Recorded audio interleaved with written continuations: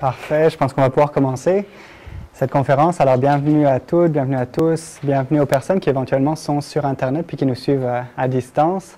Alors je suis Simon Collin, je suis professeur euh, à la Faculté des sciences de l'éducation de l'UCAM. Je suis aussi directeur du Centre de recherche interuniversitaire sur la formation et la profession enseignante, Université du Québec. Donc c'est une des quatre antennes du CRIFPE. Euh, dont la direction est basée ici à l'Université de Montréal. Et puis, je suis enfin titulaire de la chaire de recherche du Canada sur les enjeux socioculturels du numérique en éducation. Donc, ma spécialité, c'est davantage les technologies en éducation, mais c'est pas de ça que je viens vous parler aujourd'hui. Euh, c'est davantage donc de la rédaction d'articles scientifiques. Alors, je devrais commencer par être honnête en disant que je n'ai pas fait de recherche empirique sur la manière dont on rédige les articles, sur comment on s'y prend, etc.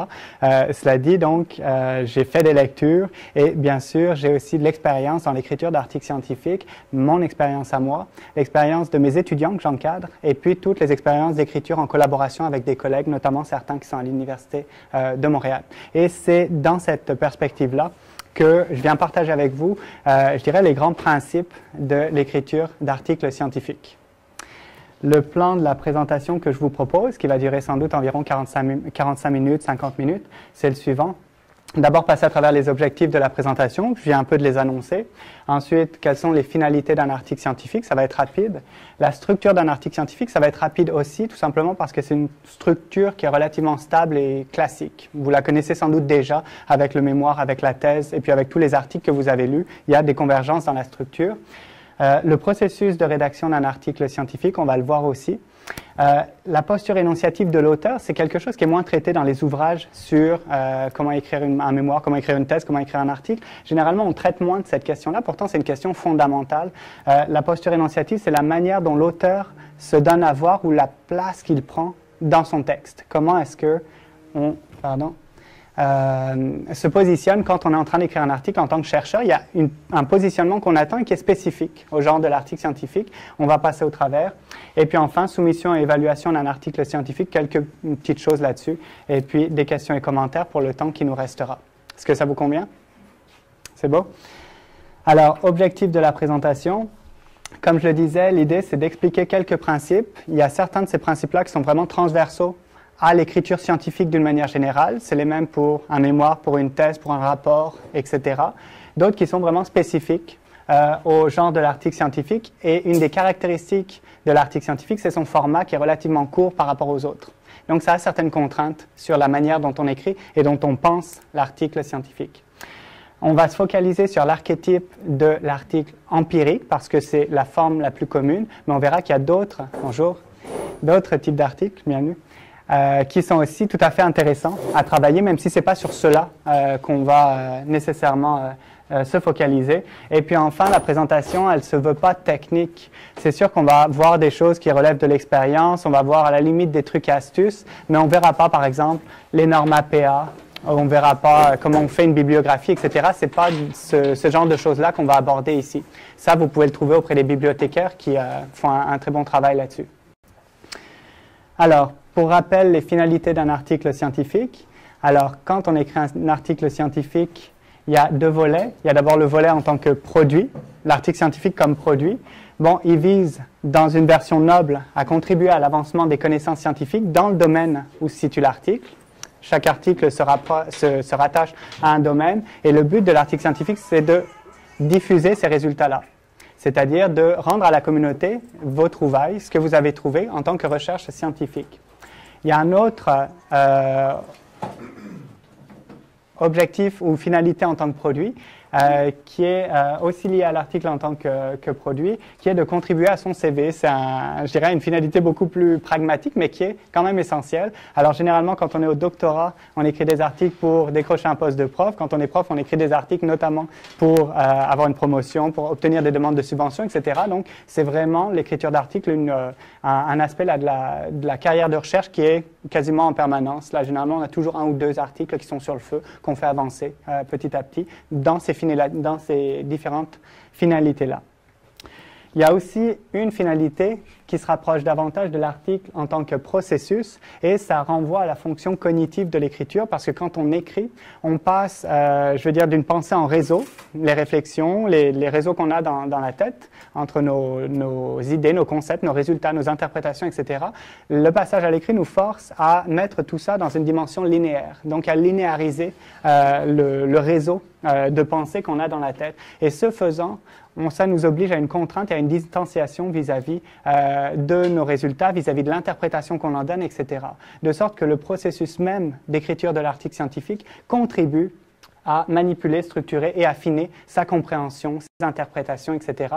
Et il se passe beaucoup de choses dans l'écriture d'un article scientifique qui concourent directement à sa qualité dans le sens où ça permet vraiment d'aboutir euh, le, projet, les résultats, etc. Et ce n'est pas à négliger. C'est vraiment une étape en soi euh, quasiment de, la, recherche. Ensuite, pour ce qui est de la structure d'un article scientifique, c'est là qu'on ne va pas rester longtemps, longtemps, parce que je pense qu'il y aura peu de surprises pour certains d'entre vous. Un article commence par un résumé. Euh, une introduction, problématique et cadre conceptuel éventuellement, mais comme le format est relativement court, on retrouve parfois ces deux parties-là dans une seule qui s'appelle le contexte, pour ramasser un peu les choses, de manière à avoir plus de place pour les objectifs, la méthodologie, les résultats et la discussion qui va être bien importante, on va voir pourquoi. Et puis finalement, une conclusion qui permet de finir l'article. Il y a quelques éléments que je mentionne pour chacun de ces points-là, mais c'est juste à titre de rappel. Alors, différence entre le résumé et l'introduction. On pourrait dire l'introduction, c'est déjà un gros résumé. Oui, il y a quand même une différence entre les deux. Dans le résumé, on annonce les principaux résultats qu'on a obtenus. Donc, on le dit vraiment, c'est en, une phrase, deux phrases, on annonce nos résultats. Alors que dans l'introduction, on l'a fini en annonçant non pas les résultats, mais la structure de l'article. Donc, quelles sont les parties, les sections qui s'en viennent? Les résultats ne sont pas annoncés dans l'introduction à la fin, ils sont vraiment juste annoncés dans le résumé, puis ensuite dans la section résultats et discussion. Pour ce qui est du contexte, donc problématique et cadre conceptuel mis ensemble, c'est comme ça que je les traite ici. Euh, généralement, ce qu'on retrouve dans ces parties-là, bonjour, c'est la pertinence sociale d'une manière générale, c'est-à-dire les enjeux et les retombées de la recherche. Autrement dit, pourquoi c'est important de savoir ce qu'on veut savoir avec cette recherche-là, puis qu'est-ce que ça va permettre. D'accord? Pour le milieu de pratique, si on se trouve en éducation, on parle souvent du milieu de pratique, qu'est-ce que ça va permettre, qu'est-ce qu'on va permettre d'avancer? Pertinence scientifique aussi, et là on se trouve davantage au niveau de l'état d'avancement des connaissances, c'est-à-dire ce qu'on sait et ce qu'on ne sait pas sur l'objet de recherche qu'on a choisi, les limites et les biais de ce qu'on sait, et puis les principaux concepts ou théories, ou bien les tendances empiriques. Au niveau conceptuel, à ce niveau-là, généralement, soit on retrouve une théorie ou un concept qu'on mobilise pour éclairer notre objet de recherche, pour le lire, c'est nos grilles de lecture au niveau théorique, soit on retrouve des tendances empiriques, c'est-à-dire une revue de la littérature généralement qu'on fait euh, dans cette partie-là en disant voici l'état d'avancement des connaissances, on sait ça, ça et ça. C'est à peu près les deux choses qu'on a. Une petite parenthèse sur euh, la pertinence sociale, puis vous verrez que j'en fais beaucoup des parenthèses comme ça. Euh, attention de ne pas juger de la pertinence d'une recherche uniquement sur sa pertinence sociale, parce que les objets de recherche, dépendamment des objets de recherche, justement, les articles vont avoir une pertinence sociale plus ou moins immédiate ou plus ou moins visible. Et je pense particulièrement, par exemple, à la recherche fondamentale qui n'a pas forcément une pertinence sociale ou, euh, euh, qu'est-ce que ça va permettre, on ne peut pas forcément y répondre dans l'immédiat. Ça ne veut pas dire que la recherche n'est pas pertinente. D'accord? Il y a des fois des glissements un peu utilitaristes dans la recherche en se disant, tu soit ça permet en éducation un changement de pratique puis les apprenants apprennent mieux, oui ou non, soit c'est pas utile. Attention, la recherche en éducation, c'est pas que ça. Donc au niveau de la pertinence sociale, c'est bien d'y penser, mais c'est bien aussi de constater qu'elle va pas être la même suivant l'objet de recherche sur lequel on est, puis c'est à garder en tête. Objectifs, ensuite. Alors, les objectifs sont vraiment les pivots de l'article. En fait, linéairement, on commence par le contexte, ensuite on a l'objectif, mais l'objectif, c'est quasiment ce qui arrive pas mal plus vite dans la pensée et dans la réflexion. Parce qu'à partir du moment où on a notre objectif, on peut déplier notre problématique, notre cadre conceptuel en conséquence et l'aligner sur l'objectif. Et puis, on peut aussi prévoir notre méthodologie qui vise à savoir comment on va répondre à cet objectif, et la partie résultat qui vise à répondre à l'objectif. Alors l'objectif, c'est vraiment le pivot d'un article scientifique, comme n'importe quel mémoire, comme n'importe quel doctorat. D'où l'idée d'avoir des objectifs qui sont clairs et bien pensés, parce qu'il va falloir vraiment arrimer tout le reste à ça. C'est à ça que vous allez répondre. C'est le pivot de l'article. Et un bon pivot, il doit être réglé sur l'état d'avancement des connaissances. Autrement dit, quand vous avez des choses qu'on connaît, qu'on ne connaît pas sur un objet de recherche, ben, il faut vraiment que votre objectif soit relié à ça et directement bâti là-dessus.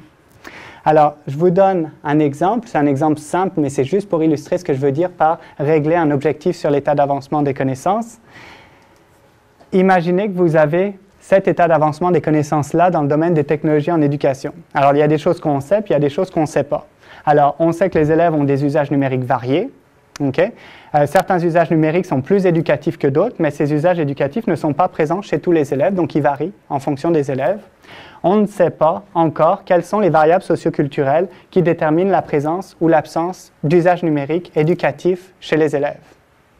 Donc simplement, on sait qu'il y a des usages éducatifs qui sont variables. On ne sait pas quels sont les, les variables, les facteurs qui sont associés. On pourrait formuler différents objectifs. L'idée, c'est que dans ceux que je vais vous montrer, il y en a un qui pour moi est plus pertinent que les autres parce qu'il est mieux arrimé. Vous avez un premier objectif possible qui serait quels sont les usages numériques éducatifs des élèves? Ben, au vu de l'état d'avancement des connaissances, on peut se demander si c'est vraiment utile. Parce qu'on nous dit déjà qu'on sait que les élèves ont des usages éducatifs et qu'ils sont variables. Donc sans doute que pour en arriver là, on a déjà identifié les usages numériques éducatifs. Faire une recherche là-dessus, peut-être pas sûr que ce soit intéressant. Deuxième possibilité, comment les usages numériques éducatifs des élèves varient-ils suivant l'âge? Là, on est bien dans notre relation facteur-usage numérique éducatif. Simplement, on focalise sur l'âge là où on ne sait pas encore quelles sont les variables socioculturelles. Donc peut-être que l'âge n'apporte rien. OK? Mais on ne sait pas. C'est une possibilité, peut-être que non. Donc l'objectif qui serait sans doute le plus approprié dans ce temps-là, c'est quelles sont les variables socioculturelles qui déterminent la présence ou l'absence d'usage numérique éducatif chez les élèves. Puis là, on prendrait l'âge, le sexe, le niveau socio-économique, etc. Puis on testerait ça. Puis si l'âge effectivement a un rapport, dans ce cas-là, on pourrait peut-être fouiller davantage en reformulant cet objectif-là. Donc quand je dis qu'il faut arrimer l'objectif à l'état d'avancement des connaissances, c'est vraiment ça. Il faut que votre avancement des connaissances que vous avez construit par ailleurs soit vraiment arrimé sur votre objectif et qu'il y ait ce lien d'évidence entre les deux. Maintenant, pour ce qui est de la méthodologie, euh, c'est une des seules parties dans un article scientifique qui est standard. Il y a comme une structure qui est donnée, alors profitez-en et perdez pas de temps là-dessus, suivez la structure. Euh, participants, collecte de données, analyse de données, c'est fonctionnel, ça marche bien. Puis généralement, dans la collecte de données et dans l'analyse, on retrouve l'élaboration des instruments, leur validation, et puis le déroulement en tant que tel de l'analyse ou de la collecte. Mais c'est une structure qui fonctionne bien c'est ce qu'attendent vos évaluateurs quand ils évaluent votre article, alors autant s'y tenir. Les résultats finalement. Alors pour les résultats, on va jouer sur trois volets principaux dans la présentation des résultats. Euh, un volet description des résultats, un volet ensuite illustration. Illustration peut se faire par des tableaux, des figures, du verbatim, des citations. Et puis enfin, interprétation des résultats. Et c'est généralement entre ces trois mouvements-là qu'on navigue. Alors je vous en donne un exemple tiré de mes étudiants. Je prends, je prends des fois des exemples de mes étudiants. Euh, donc, à la lumière des propos obtenus en entrevue, les participants ne semblent pas, de manière générale, entretenir de préjugés défavorables à l'égard du vernaculaire. Donc, description ici du résultat. Par exemple, à la question, ils ont répondu ça. Et puis là, illustration par du verbatim. Et puis ensuite, ici. Donc, les participants semblent à première vue avoir une opinion plutôt favorable. On reprend le même résultat qui était là, on est dans la description, ce qui laisse croire à une certaine ouverture, et là, on tombe dans l'interprétation. OK? Là, on retombe dans euh, le lien que fait l'auteur avec euh, justement son objectif. Donc, description, illustration, et puis ensuite interprétation. Bien sûr, on n'est pas toujours dans une forme aussi figée, et puis heureusement, parce que ce serait peut-être lassant à lire. Euh, donc, ici, d'autres possibilités. Vous avez ici la description. en ce qui concerne le contenu d'enseignement du vernaculaire, nous avons demandé aux participants, puis certains disent à 70% que blablabla, description. Illustration par un graphique.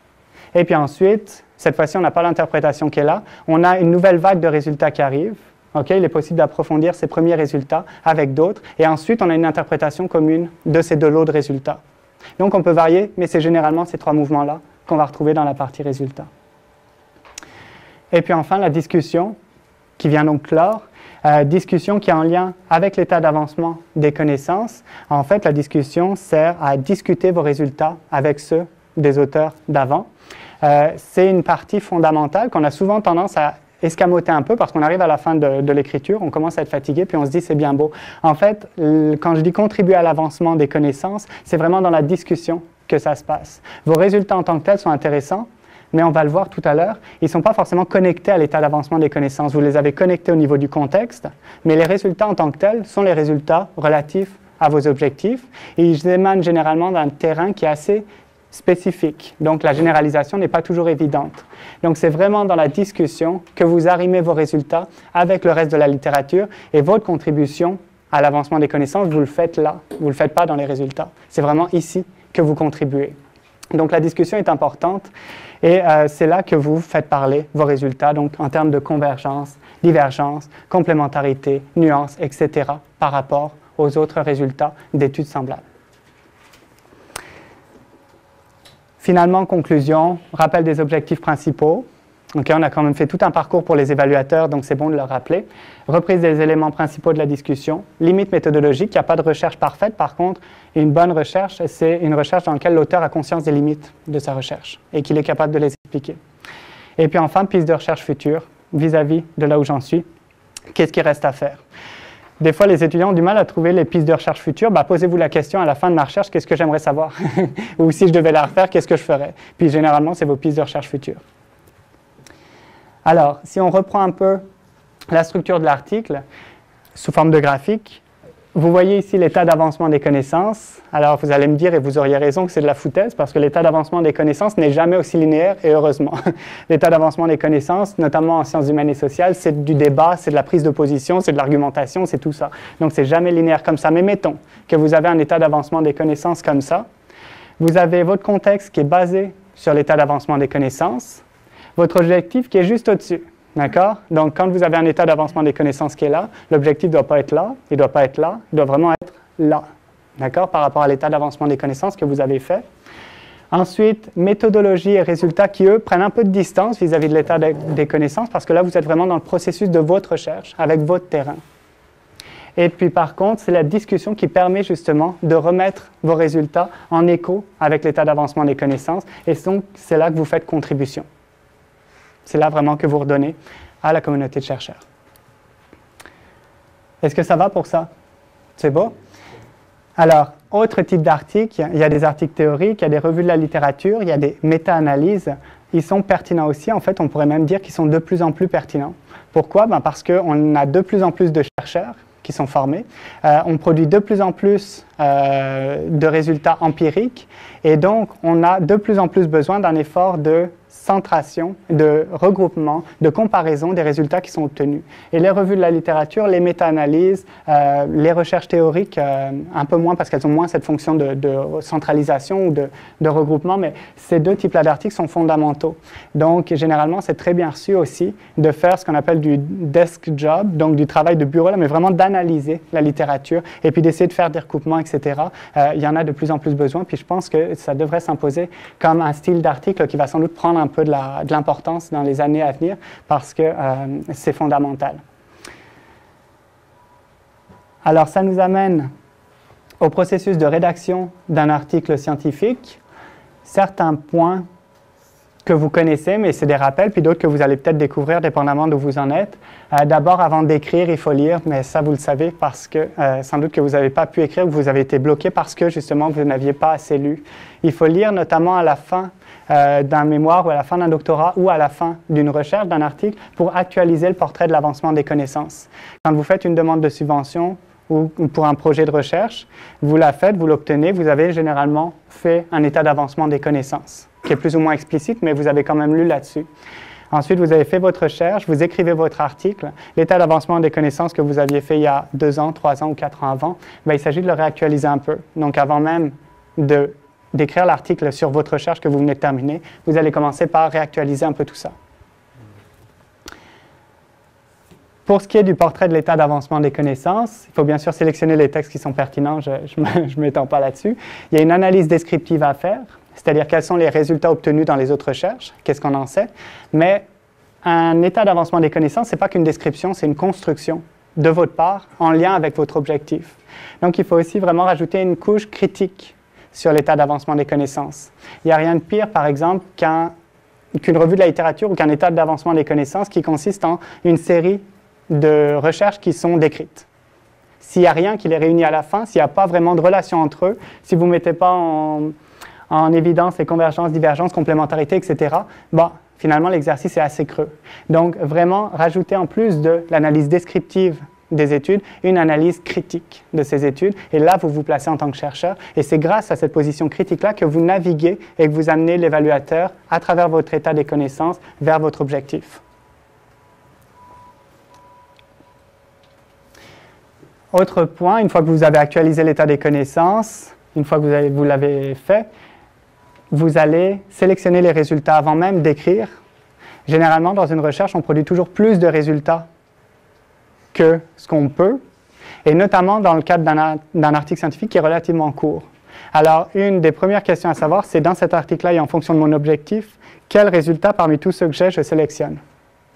Résistez à la tentation de tout mettre. Généralement, vous noyez votre évaluateur si vous mettez tout.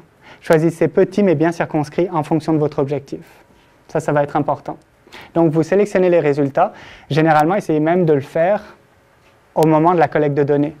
D'accord? Quand vous construisez vos instruments, entrevue, euh, protocole d'entrevue, questionnaire, euh, analyse ethnographique, etc. Vous allez là circonscrire les thèmes que vous allez observer, bah, commencer à penser aux articles, d'accord? Combien de thèmes ou quel thème dans quel article, etc. En fonction des objectifs que vous avez. Ensuite, établissement du plan de l'article. Un plan, ce n'est pas toujours suffisant, notamment dans un article parce qu'il y a peu de sections. Donc souvent, la partie contexte, on peut y mettre tout et n'importe quoi. Alors pour ce qui est d'un article scientifique, je vous encourage vraiment à y aller avant l'écriture, si ça, si ça vous convient, avec un plan détaillé de l'article. Donc pas simplement les titres, mais aussi vraiment le contenu, une idée du contenu. Ici, par exemple, le contexte, c'est celui de TIC et migration. Euh, donc, je commencerai par le potentiel d'éthique pour soutenir la migration avec ces deux concepts-là, notamment pour l'intégration dans la société d'accueil. On voit ici qu'il y a une transition qui s'en vient dans la rédaction de l'article mais les résultats sont mitigés sur les usages d'éthique par les migrants et les minorités ethniques, etc., etc. Avec un plan détaillé comme ça, ben, vous, vous facilitez la tâche, puis surtout, vous avez un cap à suivre quand vous rédigez l'article, et donc vous êtes moins euh, sujet à vous perdre au fur et à mesure. Pareillement pour les résultats, d'accord? Comment j'organise mes résultats? Ben, Je vais d'abord mettre un portrait différencié des usages des technologies par les jeunes, puis ensuite l'implication pour l'intégration d'éthique en éducation. Là-dedans, je pourrais parler des dimensions sociodémographiques, etc., etc. D'accord? Un plan détaillé plus que les titres en tant que tels de vos sections. Ensuite, une fois que vous avez fait le plan détaillé, vient la rédaction euh, du contenu des sections.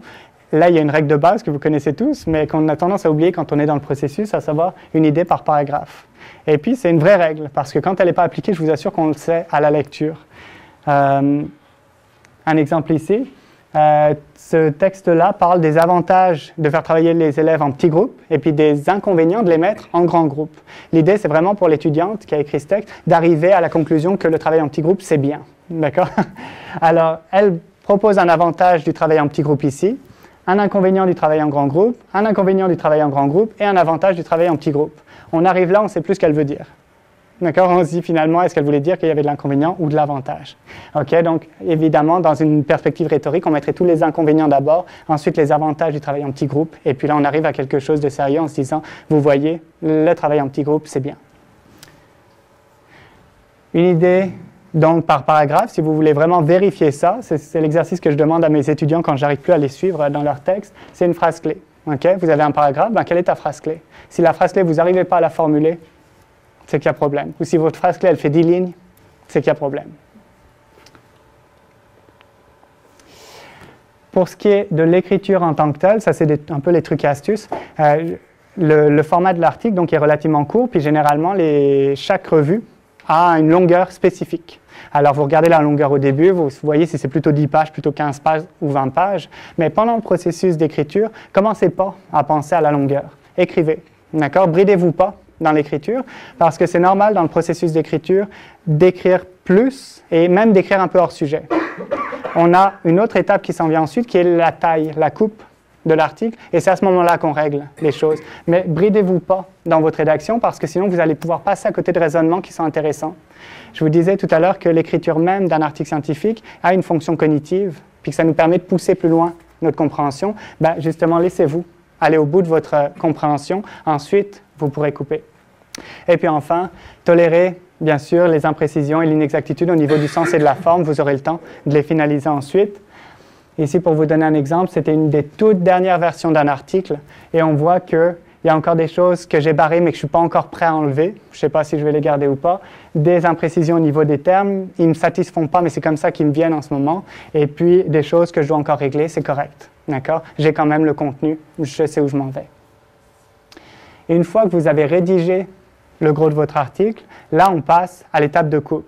D'accord? Donc là on regarde combien finalement, euh, comment je dois, je dois paramétrer mon texte. Alors, c'est une fois que le contenu est stabilisé, sauf si on sait qu'on est vraiment hors sujet dans le processus, mais la plupart du temps, on attend la fin. Et puis, la finalité, c'est bien sûr de répondre aux directives éditoriales, donc à la longueur qui nous est donnée dans un journal, et puis surtout, je dirais, de mettre en exergue le fil rouge de l'article. C'est dans ce travail de coupe que vous allez vraiment mettre en exergue le fil rouge, c'est-à-dire le chemin et la continuité, la cohérence de votre article. Alors, une bonne métaphore pour ça, c'est le bloc de glaise D'accord? Imaginez que vous avez un bloc de glaise. Vous avez, avec, euh, vous avez commencé à sculpter le bloc de glaise, là, mais de manière relativement grossière, mais vous avez l'ensemble. Ben, ici, à la coupe, vous allez encore enlever ce qui gêne un peu pour mieux faire ressortir le volume, mieux faire ressortir les formes, attirer l'œil sur les points qui vous intéressent, etc. Et c'est vraiment, ça doit être un travail conscient et volontaire de votre part que de faire ressortir le fil rouge. Ça nous amènera à une discussion euh, fort intéressante tout à l'heure. Oui? J'ai aussi peut-être euh, un autre exemple laisser pousser la haie pour pouvoir faire une sculpture. Oui, exactement, exactement. Exactement, c'est en laissant finalement déborder du cadre, justement, ou en contrôlant pas qu'on peut ensuite en faire ce qu'on veut et puis bien le manipuler. Hmm. Alors, critères de coupe, là encore, je passe assez rapidement parce que je pense que c'est des choses que vous faites déjà au niveau de la maîtrise, du, doctorat, etc. Mais si vous enlevez un paragraphe ou une phrase, est-ce que c'est dommageable pour le, le sens ou pas? De ce qu'il y a avant et de ce qu'il y a après si, quand vous enlevez un paragraphe ou une phrase, on ne comprend plus le passage de l'un à l'autre, c'est que c'était une idée première, donc sans doute à garder. En revanche, vous verrez qu'il y a des paragraphes entiers, des fois, qu'on peut enlever, puis on n'a quasiment rien à changer, tout se tient. Dans ce cas-là, c'est que c'était vraiment secondaire. Enfin, la fameuse panne d'inspiration, le syndrome de la feuille blanche. Qu'est-ce qu'on fait dans ces temps-là? Ben, on retourne aux lectures, parce que avant d'écrire, il faut lire. On remanie ses idées, carte conceptuelle pour certains, ça leur parle. Euh, discuter, demander l'avis des collègues, c'est précieux. Euh, l'ego, on prend toujours un petit coup, mais quelque part, c'est nécessaire aussi. Euh, prendre de la distance, laisser reposer, et une bonne manière pour laisser reposer, c'est de faire une communication. Parce que la communication vous donne environ, communication orale, j'entends, dans un colloque, dans tout ça, ça vous laisse environ 20-30 minutes pour organiser tout votre article. Et avec le PowerPoint, vous êtes vraiment obligé de mettre les éléments centraux. Donc, c'est un premier très bon tri je vous parlais d'un plan détaillé. Ben, le PowerPoint que vous faites pour une communication orale, c'est un plan détaillé de votre article. À partir de là, ça peut vous amener plus facilement vers l'écriture d'articles. Et puis enfin, rappelez-vous toujours, pour la panne d'inspiration, que l'écriture d'articles, c'est 90% de travail et 10% d'inspiration, de douance, etc. Euh, autrement dit, est-ce que vous êtes en panne d'inspiration ou panne de motivation? C'est pas la même chose. D'accord? Mais euh, la plupart du temps, c'est du travail, puis on s'assied, on le fait, ou on n'a pas le goût de le faire, mais c'est plutôt autour de ça que ça, tourne que d'une inspiration qu'on attendrait le nez au vent. Est-ce que ça va pour ça? Alors, posture énonciative, donc ça, c'est une partie qui est généralement moins abordée dans les, dans les livres sur comment écrire un article, etc. On en parle moins et pourtant, donc c'est essentiel. Alors, en termes de genre d'écriture, on s'attend à ce que euh, l'écriture soit sobre, donc éviter le vocabulaire chargé euh, et dramatique. Il n'y a pas besoin de ça.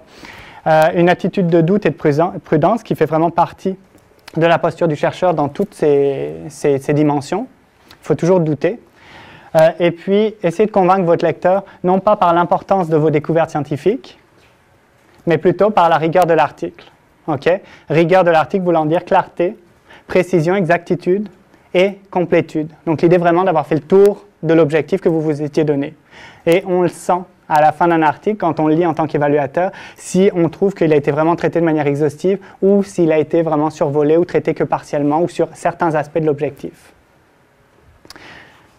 Excusez-moi. Oui. Euh, une attitude de doute, mais la façon de question à l'intérieur. Pardon?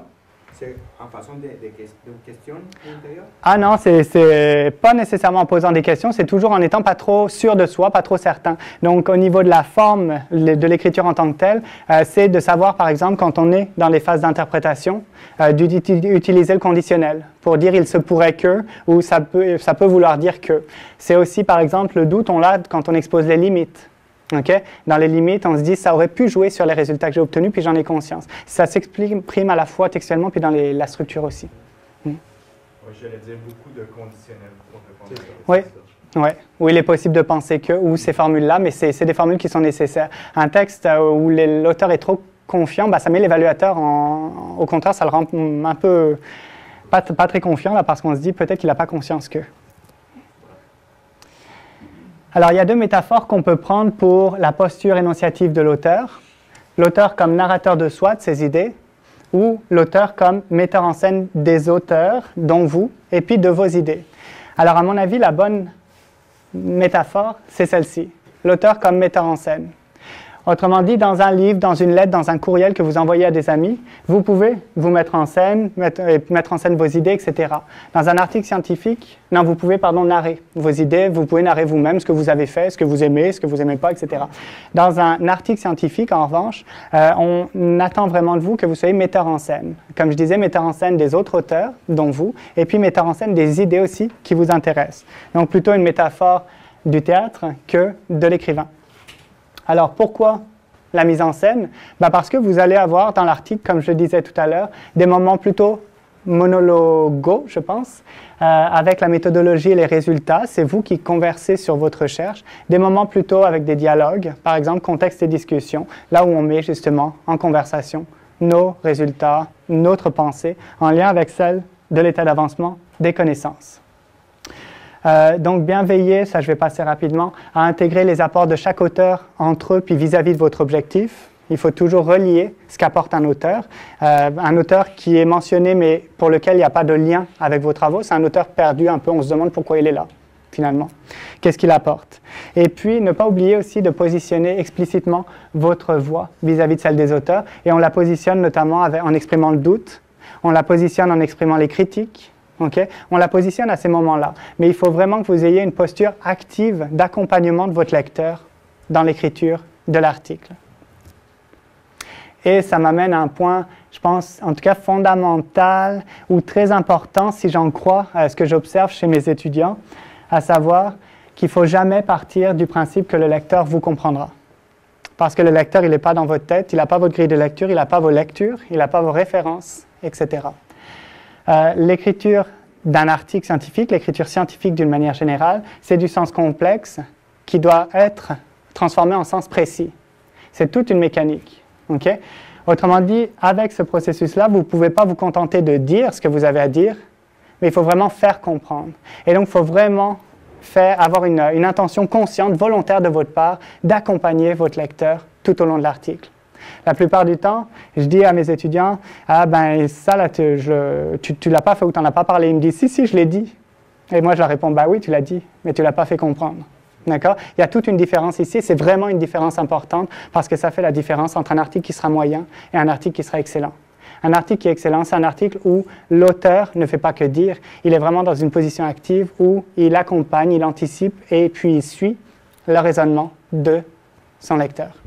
Mais euh, ça nécessite un certain discernement au niveau de qu'est-ce qu'on doit vraiment vulgariser et qu'est-ce qu'on doit laisser comme pour acquis, parce que quand on écrit pour un journal spécialisé, il y a beaucoup de choses qu'on peut prendre pour acquis que les, lecteurs comprendront, tandis que comment, comment on départage euh, justement cette ligne floue-là entre ce qu'on doit absolument vulgariser et ce qu'on peut prendre pour acquis?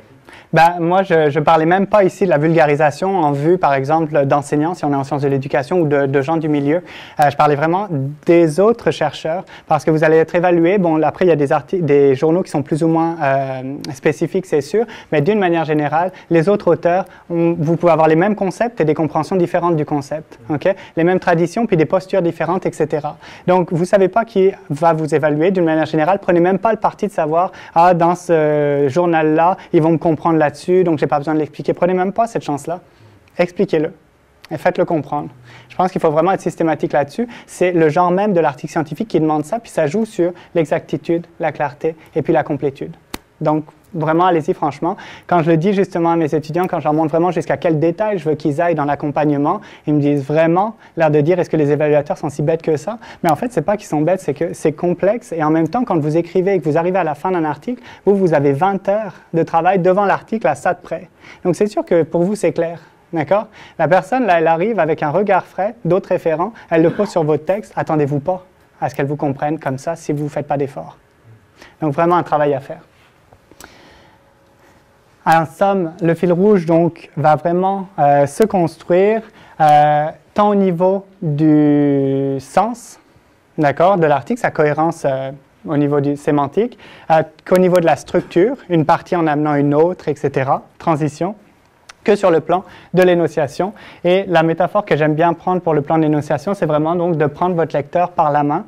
Vous arrivez devant une grande maison, vous voulez la vendre. Vous avez deux options. Vous dites au visiteur, ben, tiens, tu as la clé, ouvre la porte, puis fais-toi une idée. Là, peut-être que votre visiteur, il va arriver dans la cuisine, il va avoir une toile d'araignée dans le fond, puis ça va le, bloquer pour tout le reste. Puis il va ressortir en se disant la maison est dégueulasse. D'accord? Alors que c'est une belle maison. C'est exactement ce que vous dites à votre lecteur si vous ne l'accompagnez pas. D'accord? Il va aller prendre des choses disparates et puis il va en ressortir avec une idée disparate qui ne correspond peut-être pas à ce que vous avez fait. Vous allez plutôt le prendre par la main et lui dire, vous voyez, il y a des pièces à gauche, il y a des pièces à droite. C'est une maison qui fait tant de pièces avec tant de mètres carrés. Je vous propose de commencer la visite par la gauche. La, première pièce de la gauche, c'est la cuisine. Vous voyez qu'elle a tel et tel avantage. On peut maintenant aller à la seconde pièce, etc. C'est exactement ce qu'il faut que vous fassiez avec vos lecteurs. Pas moins. Alors, ça nous amène proche de la fin avec la soumission euh, aux revues. Alors, avant de soumettre, oui? Vous aviez tantôt à la dernière ligne un bon article, mais on doit quand même comprendre que ça s'adresse à, un niveau de personnes euh, en particulier. Comme si moi je suis intéressé à ce que les enseignants lisent mon article, oui. je ne pense pas que je puisse le rédiger de la même façon que si je veux euh, écrire un article scientifique euh, oui, mais tout à fait. Je, suis tout à fait d'accord. Il faut prendre la vulgarisation en compte. Euh, mais là, la, conférence, le thème, c'est l'article scientifique, pas l'article professionnel auquel vous pensez justement. On distingue généralement les deux comme ça, ou en tout cas parfois. Et puis l'article professionnel demande une vulgarisation. Et là, on tombe dans toute autre chose parce que alors on, ça se passe sur une euh, sur une recherche effectivement. Puis c'est de savoir comment la rendre accessible. Et c'est ces mécanismes d'accessibilité là. Alors il y a différents types de vulgarisation, vulgarisation didactique, etc puis des très bons travaux d'ailleurs qui ont été faits euh, par euh, un chercheur, euh, Landry, je pense 2009, qui a permis vraiment de montrer les différents aspects qu'on peut mettre en œuvre pour vulgariser auprès d'un public qui n'est pas chercheur. Et ça, effectivement, c'est intéressant. Ça pourrait faire l'objet d'une autre conférence. Mais c'est sûr qu'on ne va pas écrire de la même façon. seulement qu'au niveau de la compréhension des concepts, il y a quand même grande différence. Euh, ah oui, tout à fait. Ah, tout à fait. On n'écrit pas la même chose, on ne sélectionne pas les. Oui.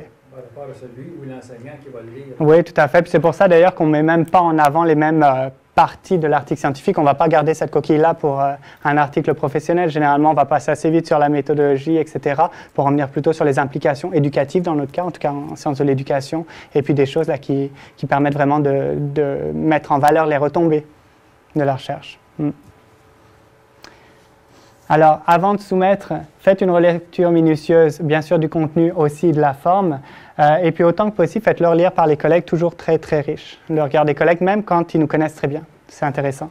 Et puis, soyez scrupuleux sur la longueur et la précision du produit. Votre article, euh, je veux dire, il y a, sans doute mille défauts qu'on peut lui reprocher. Faites-vous pas en plus reprocher des choses aussi bêtes que la longueur de l'article. D'accord? Ça, c'est quelque chose au niveau maîtrise, doctorat et après qu'on s'attend à ce que vous sachiez respecter. Donc, quand vous partez avec un article qui est trop long, en tant qu'évaluateur, la première chose qu'on se dit, c'est bon, la, personne n'a pas vraiment allé jusqu'au bout de l'exercice.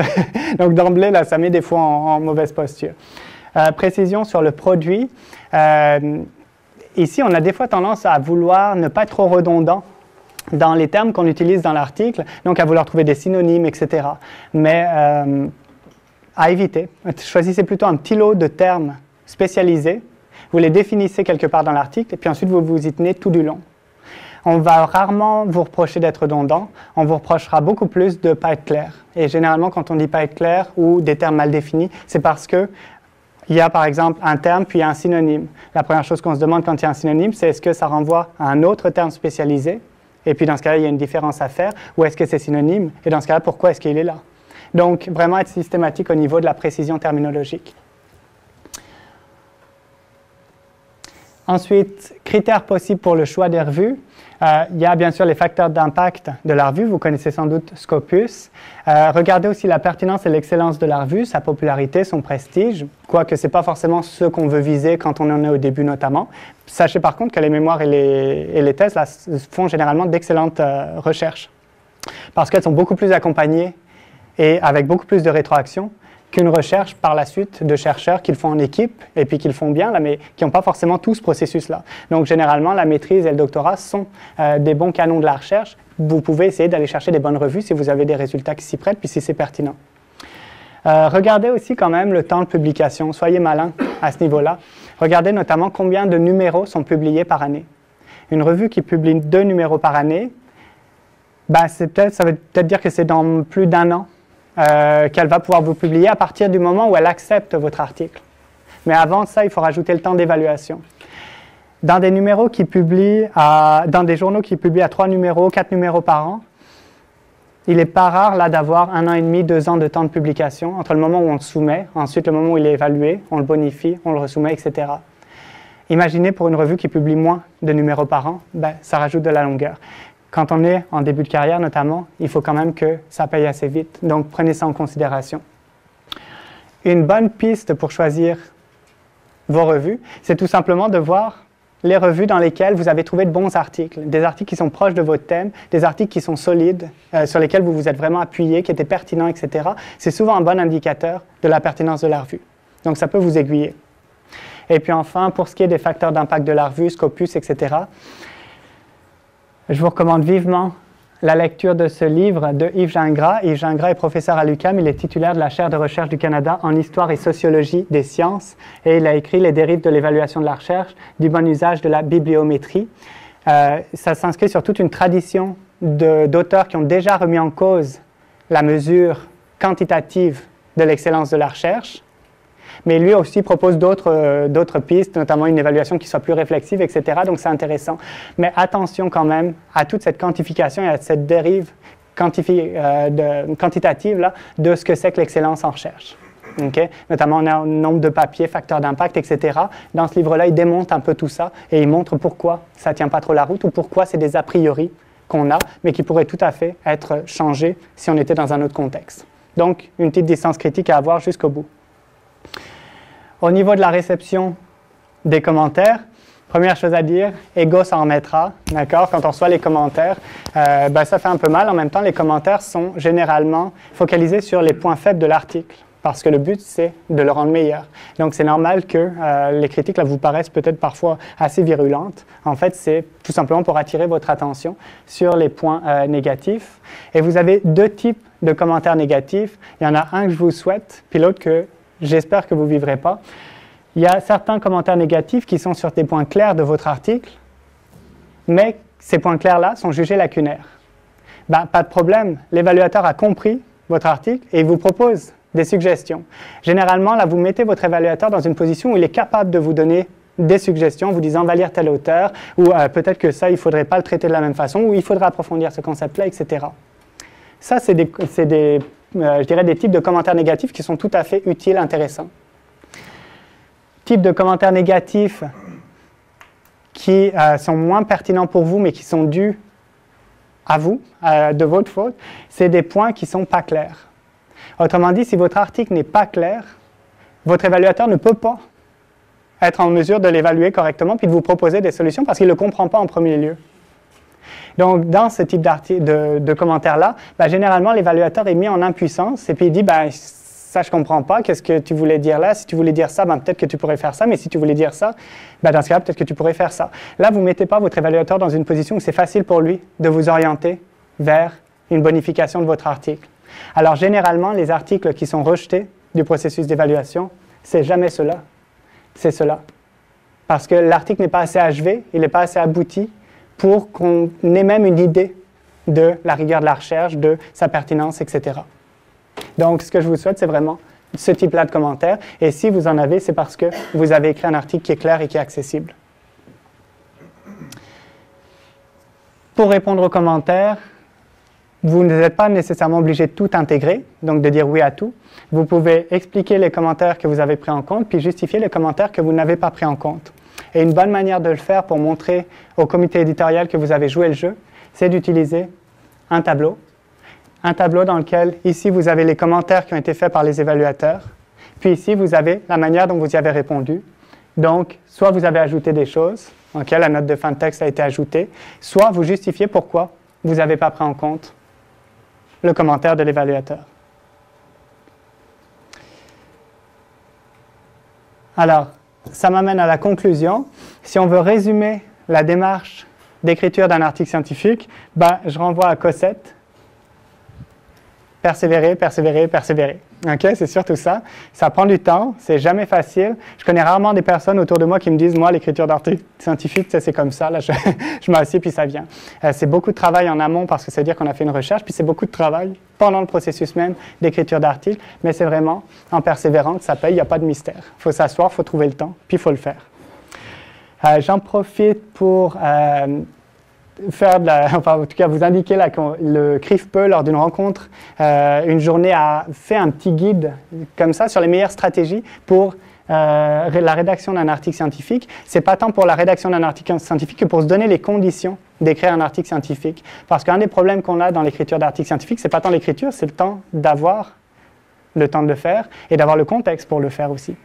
Donc, comment avoir des petites choses, c'est vraiment expérientiel. Donc, on y allait de nos stratégies, mais c'est intéressant si, euh, je pense qu'il sera sur le CRIFPE.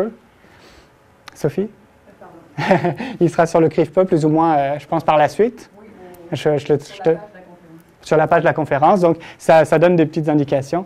Et puis enfin, euh, quelques ouvrages utiles. Donc, je vous parlais de Cossette qui est intéressant. Assez peu mentionne la posture énonciative dont je vous parlais. Euh, Ils sont beaucoup plus en fait sur la structure, mais euh, Cossette est quand même, euh, quand même intéressant. Publié dans une revue savante, direct de chercheurs convaincants. Le, le livre est mieux que le titre, je dirais.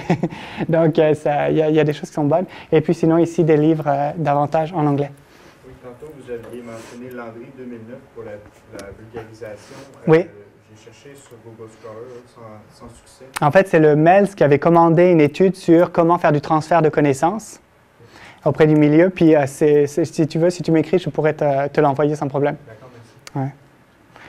Donc, voilà pour euh, les articles auxquels vous pouvez vous référer. Mais comme je vous dis, posture énonciative, ça ne couvre pas nécessairement tout. Euh, voilà pour ça. Donc, ça finit la conférence. Merci d'être là. Puis, s'il y a des questions, si vous avez des questions, euh, n'hésitez pas à les amener maintenant. Tiens.